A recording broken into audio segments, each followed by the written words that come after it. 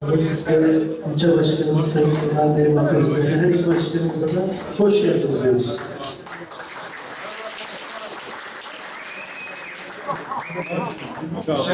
Sağ ol Allah razı olsun. Merhaba. Merhaba. Maşallah gençler. Gençler ve genç kalanlar. Hoş bulduk. Teşekkür ederim. Emir, Emir, Emir.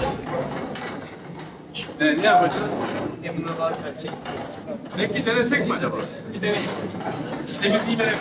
Aa gayet iyi. Nasılsınız bakayım? Kaç yaşındasınız siz? Merhaba. Kusura bakmayın. Geç geç geç. Daha geçelim.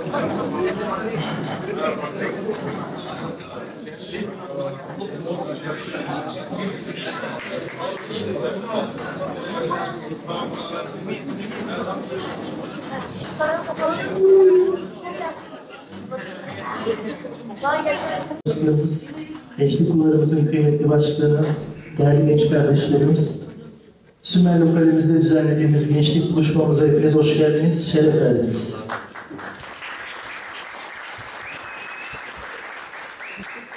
Efendim programımızın açılış ve selamlama konuşmalarını yapmak üzere İlçe Gençlik Kolları Başkanımız Sayın Emrah Sal Beyefendi'ye mikrofonu takdim ediyoruz.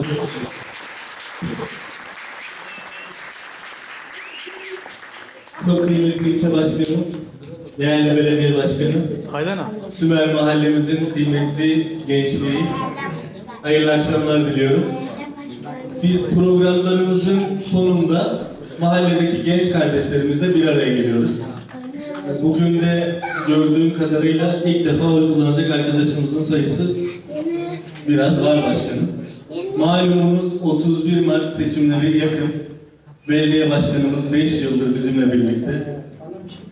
Açıkçası esnaf ziyaretlerinde, ev sohbetlerinde belediye başkanımızla bir aradayız. Dernek ziyaretlerinde bir aradayız. Çok bize de bir iş bıraktığını söyleyemeyiz.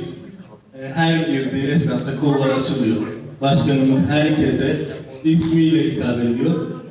Bazı esnaf abilerimiz, arkadaşlarımız saymışlar 7. 8. 10. diye duyduğumuz ziyaretler var. Emekleri için çok teşekkür ediyoruz belediye başkanımıza. Ee, önümüzdeki süreçte de bu çalışmanın, bu gayretin, bu azmin neticesinin de çok daha güçlü bir sonuç olacağına inancımız tam. Gençlik noktasında da inşallah en güçlü desteği vereceğinden Zeytinburnu gençliğinin eminim. Allah mahcup etmesin diyorum. İstanbul'da Murat Kurum Başkanımıza, Zeytinburnu'nda Ömer abimize, Ömer Başkanımıza sahip çıkacağınız için şimdiden çok teşekkür ediyorum. Katıldığınız için de teşekkürler, hayırlı akşamlar diliyorum.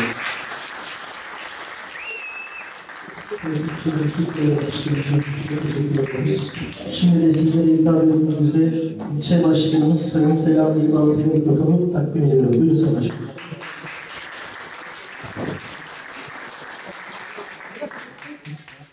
Çok değerli belediye başkanı, ilçe gençlik kolları başkanı, değerli genç kardeşlerim, hepinizi saygıyla selamlıyorum. Hoş geldiniz, sefalar getirdiniz. Bizler gençliğe önem veren, gençlerle ilgili her türlü çalışmayı yapan bir lideri yol arkadaşlarız. Cumhurbaşkanımız Sayın Recep Tayyip Erdoğan gençliğe tarzı bakışını hepimiz biliyoruz. Gençlerimizin daha iyi bir eğitim alması, daha iyi bir geleceğe sahip olması için gecesini gündüzüne katarak çalışıyor. Allah'a şükürler olsun. Burada da malum belediye başkanımızı çoğunuz tanıyorsunuz. Bir şekilde ya okullarda malum 11. sınıfların derslerine başkanımız giriyor. Birçoğunuz da muhtemelen bu sınıflarda bu muhabbet ortamını oluşturdu. Gerek sokaklarda veya farklı alanlarda. Bir taraftan da malum bizim bir ASOS meselemiz var. Muhtemelen de buradaki kardeşlerimizin bazıları burada e, belediyemize hizmetlerinden faydalanmış oldu. Ömer Başkan gençlerimizle ilgili birçok çalışmayı, gençlerimizin önünü açmak için birçok çalışmayı yerine getirdi. Malum gençlerimizi belli kategorizeye ayırmaya çalışan bir zihniyet var.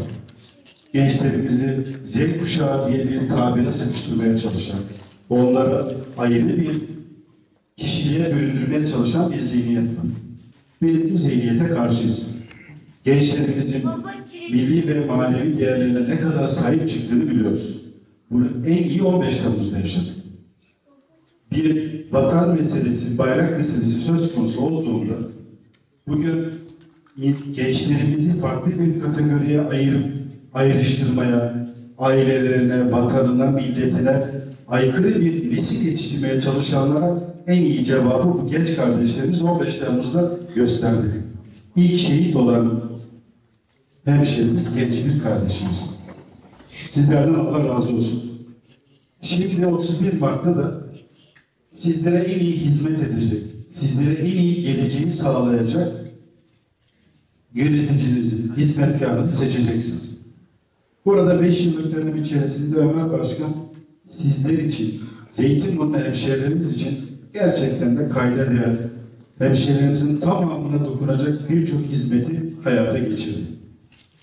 Şimdi bu genç kardeşlerimizin Ömer Başkanımıza, Emrah kardeşimin de dediği gibi Ömer abilerine sahip çıkacağına inanıyorum. Sadece kendileri açısından değil, aynı zamanda da başta anne babaları, diğer kardeşleri, abileri olmak üzere, akrabaları olmak üzere 31 Mart'ta Ömer Başkan için Zeytinburnu'nda, Murat Başkan için de Büyükşehir Belediyesi'nde destek olacağına inanıyoruz. Buna güveniyoruz, sizlere güveniyoruz. Geleceğimizin sizler olduğunuz için, ülkemizi sizlere emanet edeceğimiz için de mutluyuz. Mevlam sağlığınızı, sıhhatinizi ve uzun ömürler sizlere nasip eylesin. İyi bir gelecek nasip eylesin diyor. 31 Mart'ta dua ve desteklerinizi bekler. Saygılarımı sunarım. Efendim bizler de ilçe çok teşekkür ediyoruz. Şimdi ilk olarak soruları alacağız toplu bir şekilde. Ömer Başkanımız not edecek. Ardından hem konuşma hem de sorularınızı cevaplayacağız. İlk soruyla başlayabiliriz. Birkaç soru hazırlanıyordu. Ben geldiğini görmüştüm ama.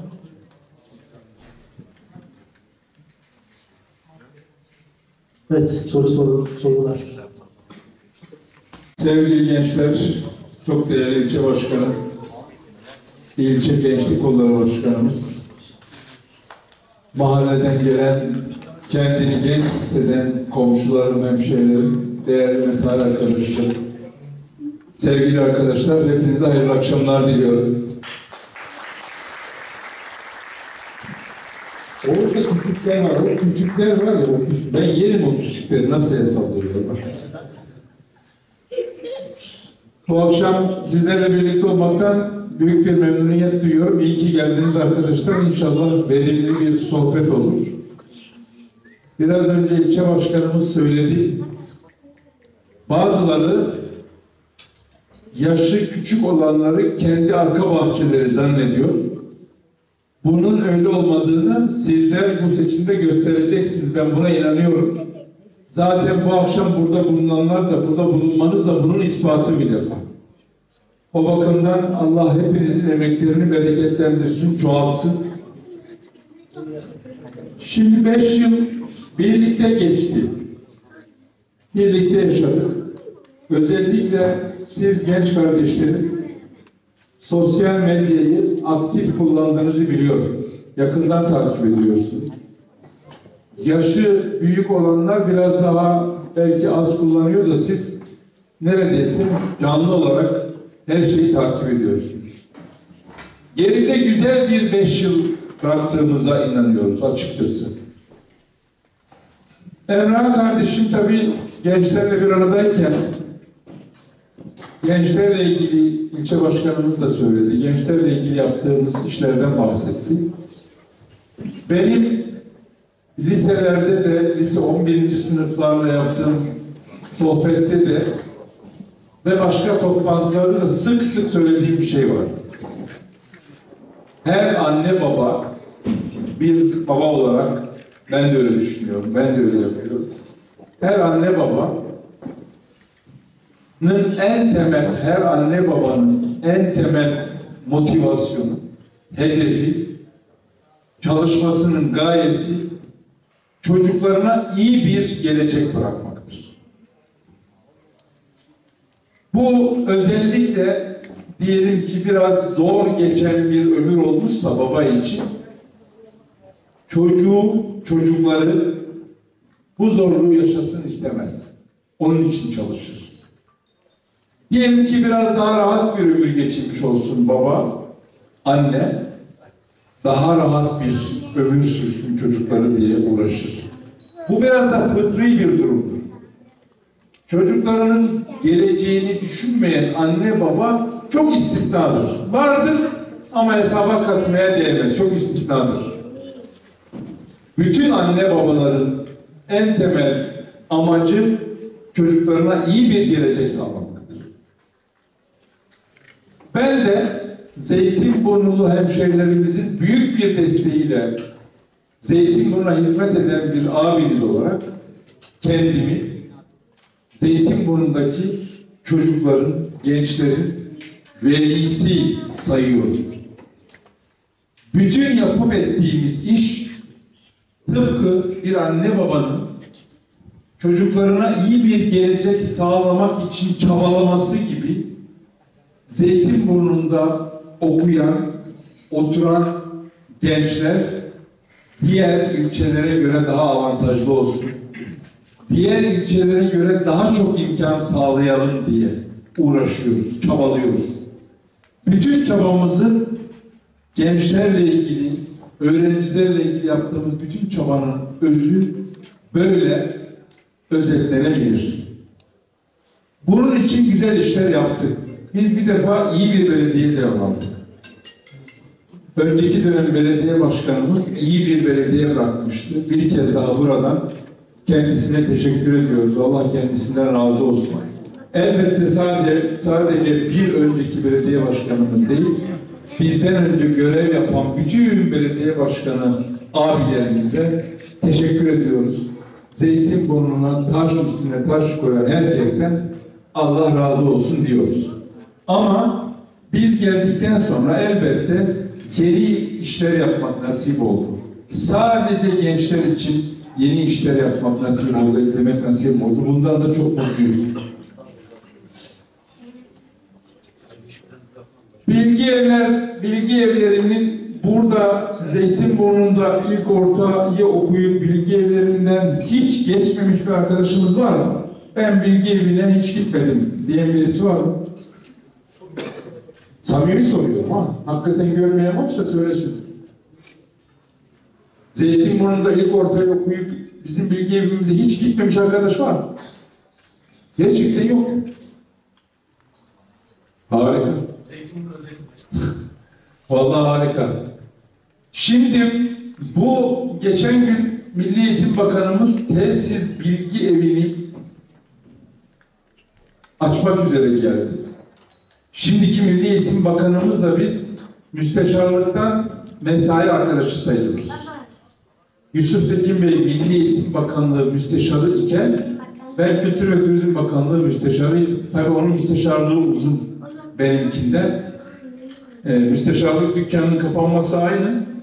Onun bakan yardımcılığı devam etmedi ama onun müsteşarlığı benden önce uzun bir müsteşarlığı var Yusuf Bey. Onun huzurunda dedim ki Zeytinburnu'nda ilk ve ortaokulu okuyup bilgi evine hiç gitmemiş öğrenci yok gibidir dedim.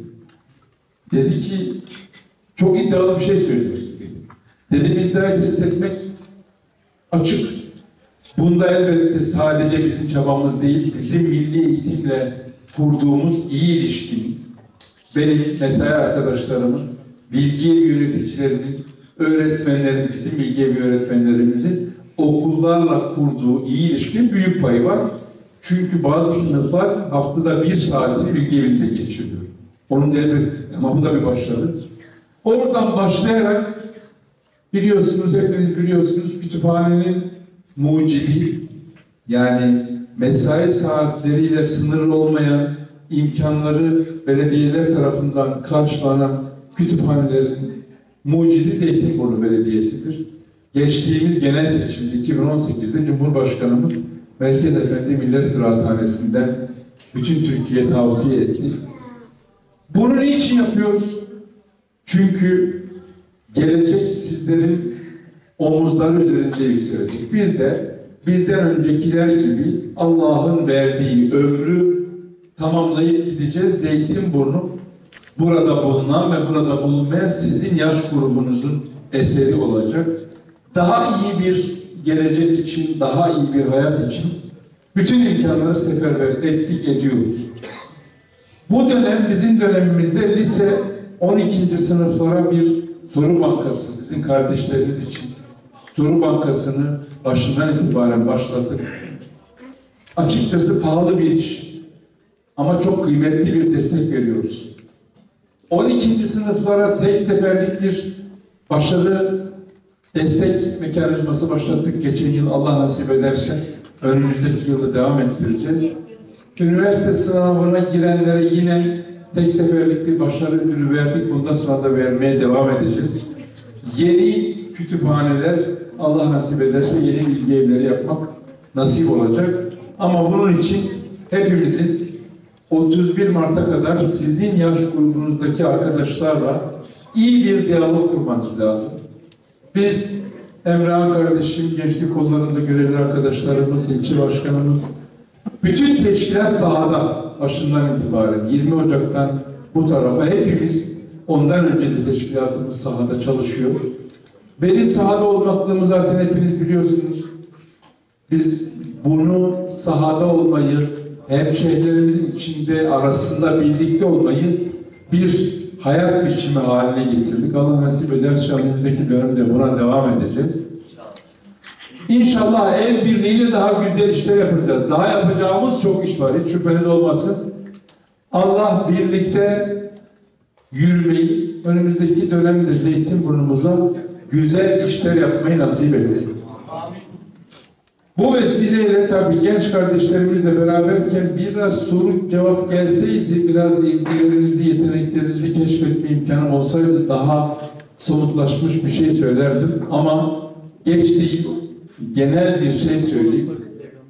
Birkaç şey söyleyeyim gençleri bir arada bulmuşken. Birincisi, hangi eğitim düzeyinde olursanız olun, mutlaka beğeneceğiniz bir kitap vardır ömrünüzde, hayatınızda, günlük hayatınızda kitaba yer açmanızı çok tavsiye ederim. Mutlaka bir kitap merakınız olsun. Biliyorum bize göre siz biraz daha şanssız bir nesilsiniz. Çünkü sizi rahatsız eden çok şey var. Sizi meşgul eden, sizi kendisine çeken çok şey var ama olabildiği kadar program yapıp kitaba vakit ayırırsanız çok iyi olur. Birincisi. İkincisi bir hobiniz olsun.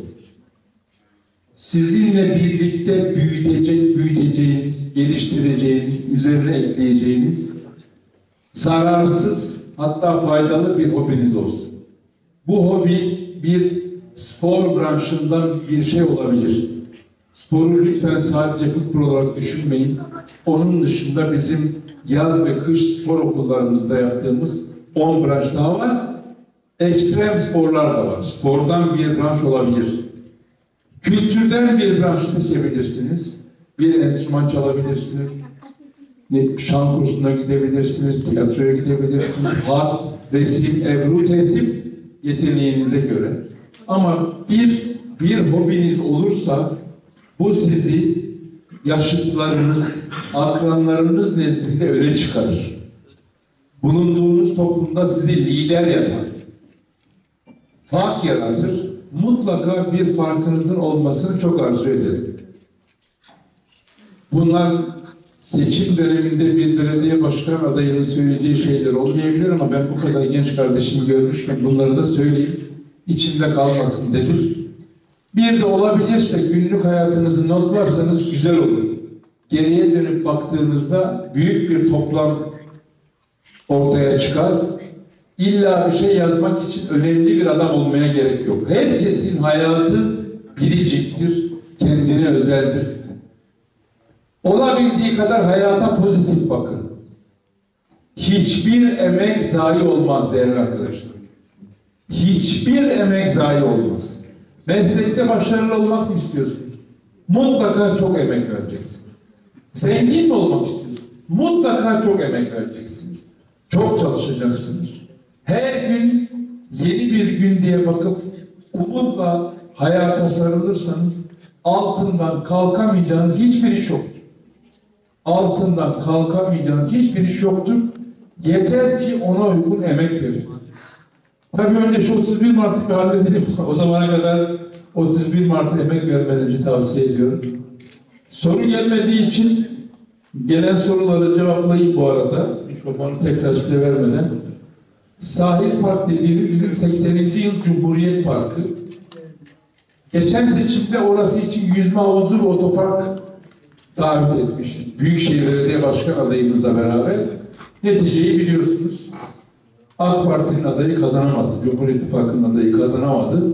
Neden Büyükşehir? Çünkü o parkın mülkiyeti İstanbul Büyükşehir Belediyesi'ne ait. Önümüzdeki dönem sizlerin desteğiyle Murat Kurum Başkanımızı seçeceğiz. O problem de kendiliğinden ortadan kalkacak. Çünkü orayla ilgili yüzme havuzu ve otopark projemiz devam ediyor. Hayalimiz devam ediyor. Taziye evi meselesi mühim. Taziye evi başlangıçta Zeytinburnu'muzdaki daha çok Doğu, Güneydoğu Anadolu'dan gelen hemşehrilerimizin bir ihtiyacı gibi algılanıyordu. Ama şehir hayatında taziye evi herkes için bir ihtiyaçtır. Neden? Çünkü evlerimiz artık taziyeyi kabul edebileceğimiz halden çıktı. Bir taziye evimiz vardı. Merkez Efendi Parkı'nın içinde hepiniz biliyorsunuz. Önümüzdeki Cuma günü Konyalı Camii'nin Cuma namazıyla birlikte hizmet açıyoruz. Türkiye Büyük Millet Meclisi Başkanımız Numan Kurtulmuş Bey'in teşrifleriyle Cuma namazıyla birlikte açıyoruz. O gün itibariyle Konyalı Camii'nin yanında küçük külliyesinde inşa ettiğimiz taziye evi de hizmete giriyor. Etti ikinci bilgi ikinci taziye evi. Üçüncüsü de Millet Camii'nde yapıldı. Son hazırlıkları tamamlanmak üzere. Orayı da inşallah önümüzdeki en geç bir ay içinde hizmete açacağız. Üç, bil, üç taziye evi olmuş olacak. Bilgi eviyle başlayınca bilgi evine takıldı. Akış aklımız. Dolayısıyla Zeytinburnumuzda şu önümüzdeki en geç bir ay içinde, birisi önümüzdeki hafta olmak üzere, öbürü de en geç bir ay içinde hizmete gelecek bir kent taziye bir ülke çıkacak. Şimdi biz bu yenilenme devam ediyor. Zeytinburnu'ndaki camilerin yenilenmesi meselesi, depreme dayanıklı hale getirilmesi meselesi devam ediyor. Önümüzdeki dönem hemşehrilerimizle birlikte yeni camileri yenileşecek taziye meselesi bizim de aklımızda. O aynı zamanda toplumsal bir ihtiyaç. Üstelik taziye olarak yaptığımız bir yer cami müştemilatına aykırı olmamak kaydıyla başka her tür imkan içinde kullanılabilir.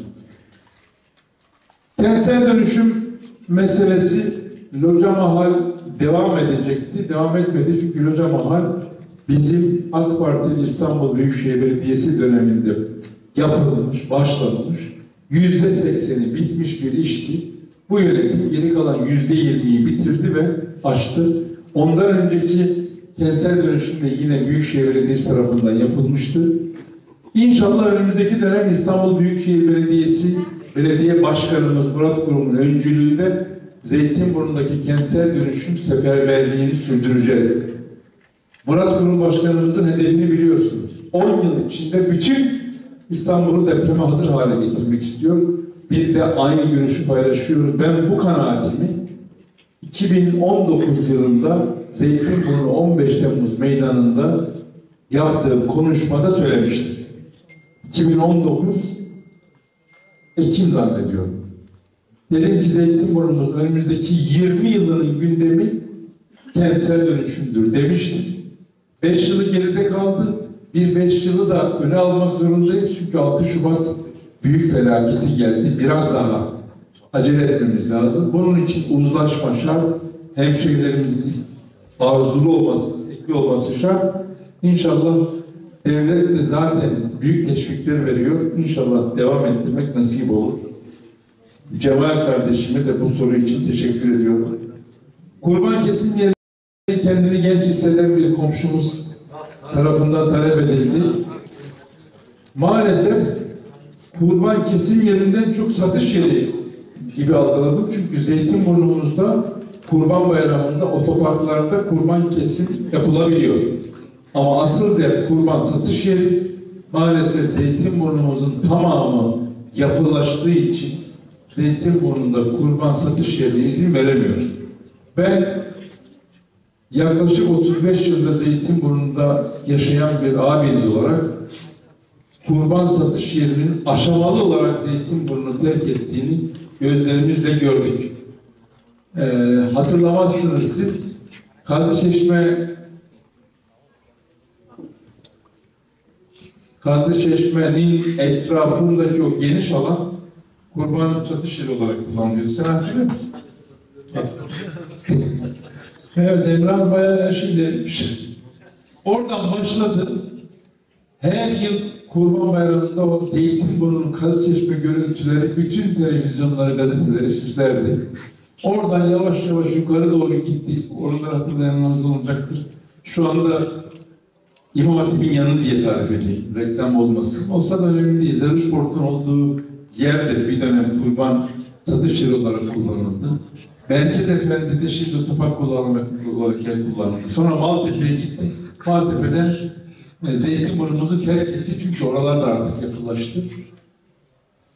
Şehir içinde bu işi yapmak maalesef mümkün değil. Biraz daha şehrin kenarlarına e, taştı.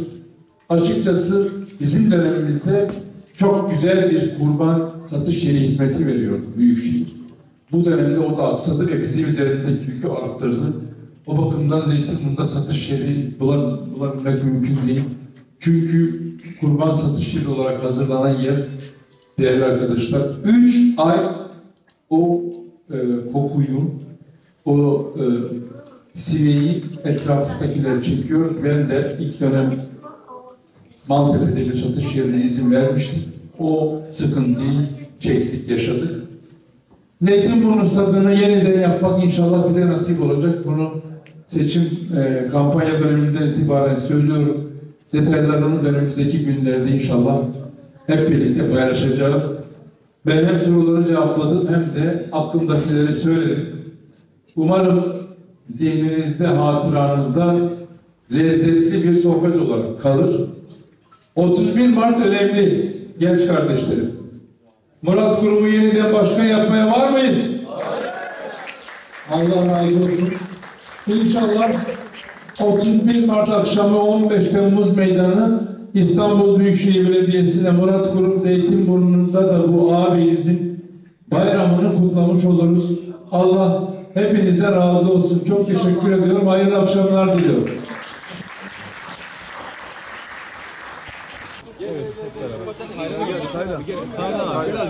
Teşekkür ederim. Evet, gel gel gel. Bir yerleşelim abi. Tamam mı? Tamam mıyız?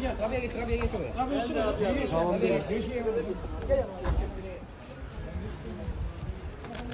Şöyle. Tamam mısınız? Hı hı. Ben bırak.